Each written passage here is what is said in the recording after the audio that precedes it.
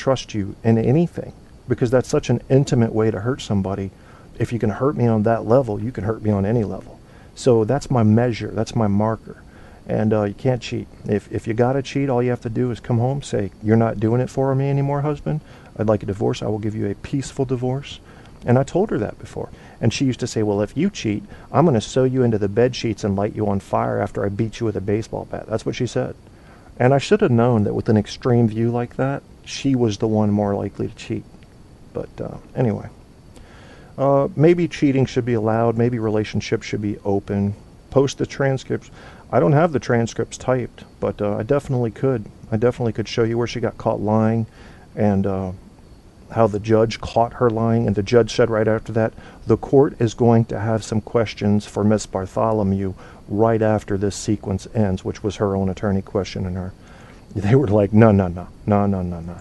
So they caught her in a lie, proved that she lied, and her excuse, well, I just got confused. Yeah, you got confused, you lying bitch.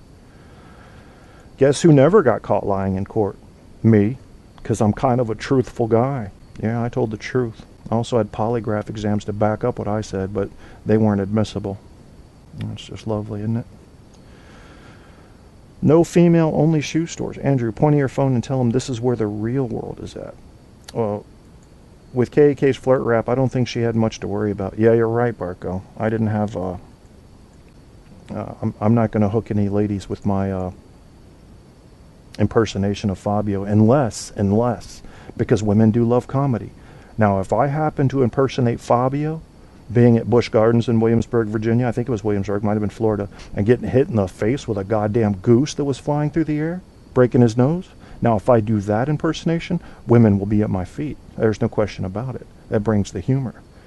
And it would probably be something like this Yay, I'm having great fun. a, a little something like that, you know. At least that's how I imagine it. I don't think they have that on. Uh, don't think they have that on uh, on film. Uh, let, us so that we can continue freestyle and I can be have this weight of the topic off of my shoulders. Let me uh, share with you folks what I think you should look at when you're looking to find a reliable uh, fact checking site that isn't biased. Because, and I'm also going to mention the ones that are biased. First of all, the traveling president. Look that one up. That's factcheck.org. A lot of shit floating around about a president burning up taxpayer dollars to travel.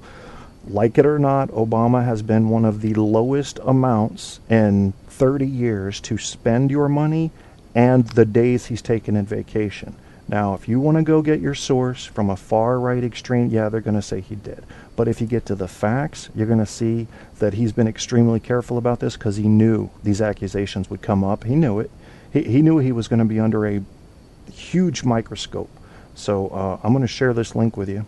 Now, this was written in 2011, and they had counted up days of vacation as well as presidential expenditures. I know you, some of you guys don't want to hear this. I know. I'm not trying to piss you off. I'm trying to get you to look at real facts. Real facts.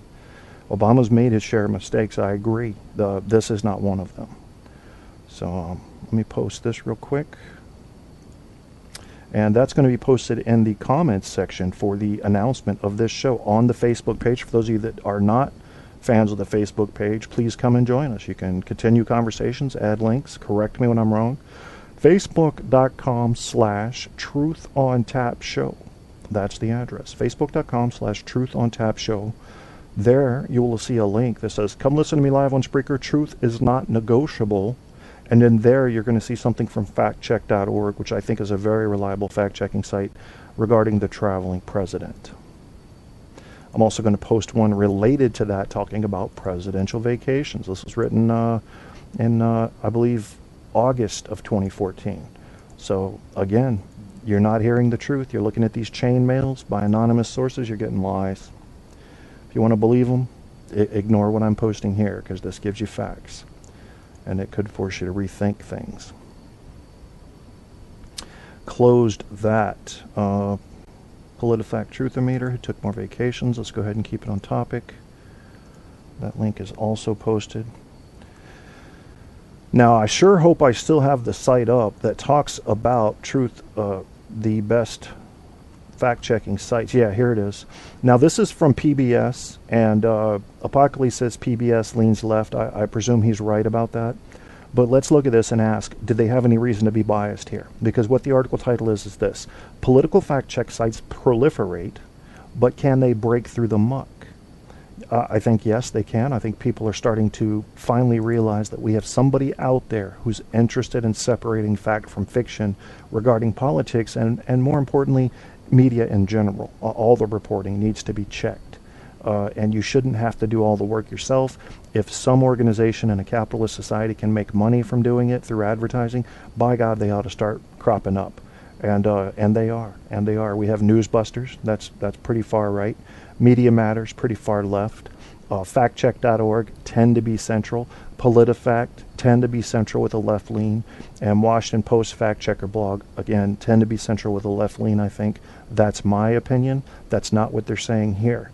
But what I would tell you to avoid is the Newsbusters one and the Media Matters ones, okay? Because they're going to lean way right and, and way left, respectively. Now, if you just want to be told what you want to hear and you're far left or far right, sure, go there. They'll tell you everything you want to hear. It'll be sweet music to your ears. You don't need truth, right? You want to be told something that feels good? Go there.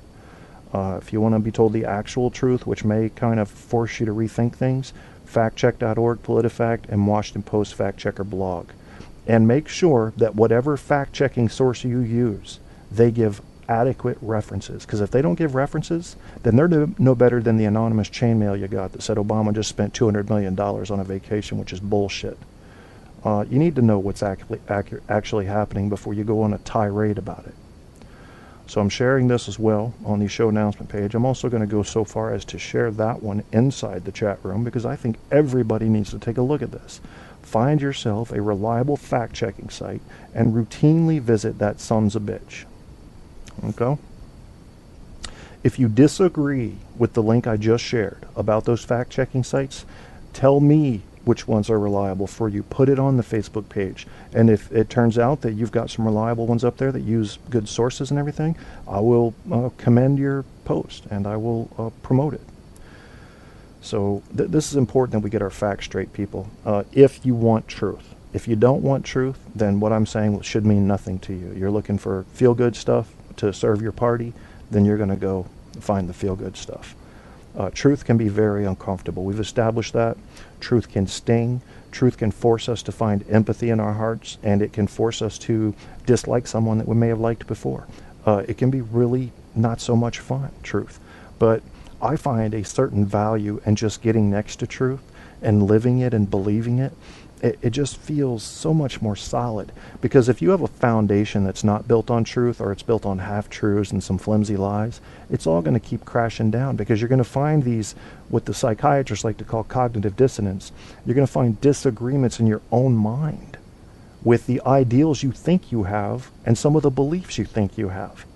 And people do not like being in a state of cognitive dissonance. They want agreement between their ideals and their beliefs. They need that.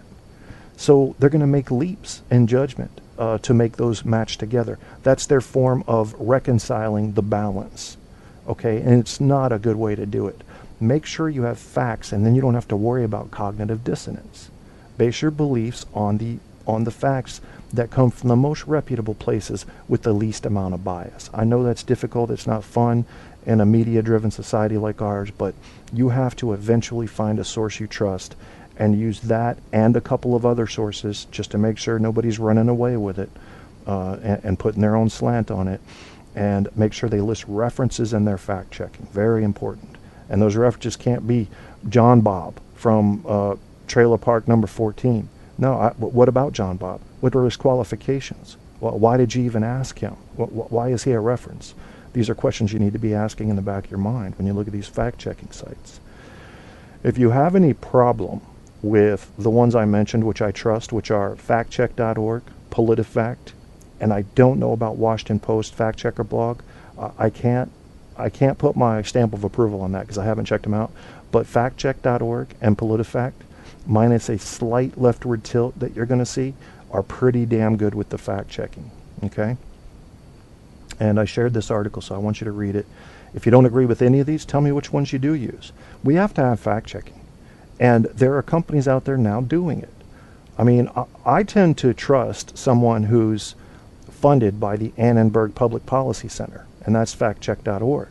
Now, uh, Tampa Bay Times, they're talking about St. Petersburg uh, Times here for PolitiFact. I thought it was Tampa Bay Times, but m- maybe I'm wrong. Uh, I think they might have gotten that wrong. Maybe I'm right. But yeah, Media Matters is going to serve liberals. Newsbuster is going to serve conservatives. The rest of them tend to be fairly center, fairly center. Uh, yeah, so that's presidential vacations we shared. Closing this we shared. Got one thing here about true selective outrage. I talked to you earlier about false selective outrage when they tried to compare a racist white talking about blacks to a black calling another black an Uncle Tom. Not the same ball game, folks. Not even close. That's not selective outrage to get mad at one and not the other. That's a whole different novel there. Now, what Jon Stewart talked about when he snapped at Fox over the selective outrage on Benghazi, he showed his evidence there to show that it was an equivalent comparison. And it's very important that you watch out for what we call logical fallacies. Barco knows about these. I think most of you guys have heard of a few of them. Well, there's a good list of about 30 of them you need to be familiar with come election time and debate time so that you know you're getting accurate information. Logical fallacies, straw man attacks. You've heard them all. Um, argument from ignorance. Uh, uh, there are so many of them that you may be a little shocked when you first start learning about these techniques, and they are techniques. These are not being used passively, they're being used actively and knowingly by politicians and public relations firms to put spin. Let me tell you something, folks. Don't trust what somebody says about their company that they're representing. In my pub- public relations writing class in college, and this was a uh, junior level class, the first thing we had to do, I want you to try to get your mind around this we were representing a, a company and we had to defend one of its employees who had been found drunk with an underage girl an uh, underage girl in a company truck during duty hours. And we had to spin it so that he sounded innocent. That was in a class for public relations writing. What do you think they're doing in the real world there? They're getting paid to make companies look good no matter how guilty they are. So be careful who you trust. Be careful who you trust. Uh, oh, HTLA Radio 1, Chris, Crash, Jesus, HTLA Radio 1 out of New York. Chris and his wife do an excellent show. We base all our shows on speculation. I agree, but there is an absolute truth, uh, Chris, and I think that absolute truth is what a recording device would record if it had been here throughout history and could record every human thought, action, written word, spoken word, body language, gesture, meteorite that entered the atmosphere, all that. Uh, that's the absolute truth. We have we certainly haven't found that recording machine, but if we did, that would give us the reliable information from which we could uh, draw our own conclusions. Uh, I need to catch up in the chat room. Uh, you guys have to make sure to check out Chris Crash Jesus' show, HTLA1 Radio out of New York. He's the real deal. Uh, he and his wife Kate do shows together. They do shows separately. He's got the radio voice. He has done the investment in the equipment, and he has the back end education in film and radio. So if you're looking for somebody to model your show after, Crash Jesus is the one you're going to want to do it from. Uh, well, my, my show's. Uh, I'll go join Alan's show. I, I, didn't realize he was doing a show. Uh, we'll, we'll, close this one down here, RD. Didn't realize that. When did you post that? 217? Wow, we're 13 minutes in now. Sorry about that. Uh, let me try to catch up at the bottom of the chat. Sexy new site, HTLA Radio 1. Yes, uh, I have looked at your site, uh, Chris. The site is awesome. Wait till you guys see his website. I haven't seen another website like this. The way he's got, he's got like this horizontal scroll feature on it. Fucking kick ass. Very good looking site. That's uh, www.htlaradio1.com, just like it sounds. For those of you just listening or not seeing the chat or listening on iHeart later, it's www.htlaradio1, the number one, dot com. Uh, what about Heisenberg's observer effect? What about it? Oh, you're talking about logical fallacies? Aristotle? Yeah, Aristotle's the shit. Before It's News, I liked it at one point, not anymore. Oh, before It's News, yeah. Alan Wayne, uh, That's where the real world is at. Okay. All right. I think I've caught up in chat. You guys are broken up a little bit for me here. Uh, uh, Chris says they, they picked up Timmy's as a